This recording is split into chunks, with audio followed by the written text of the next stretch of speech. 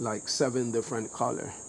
Oh, the eyelash viper does. Yeah. Okay, so they can be yellow, they can be gray, they can be brown, they can be red, they can be green. Wow. All these different colors.